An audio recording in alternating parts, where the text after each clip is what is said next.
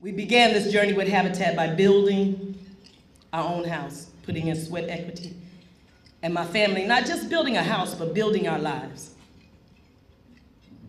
Because when we were able to even own a home, it broke a whole lot of things off of our family that everybody thought was impossible. But there's nothing impossible with God.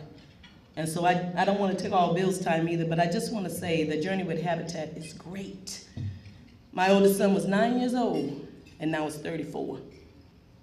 And so I give God praise for you all, for everything that you do for us, for all of us. And I, I'm sure I can speak for every Habitat homeowner that's in here or that you have built. I was house number 13, so there's nothing unlucky about 13. I want y'all to know that. And we're over Mm, thank you, God.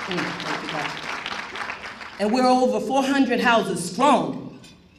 So you have built family houses for families, 400 plus families, not just individuals. And when you build families, you build communities.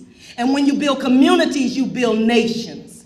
And so I want to thank you all so much for every nail you've driven, for every dollar you've given, for anything that you've done for Habitat. So I just want to say thank you.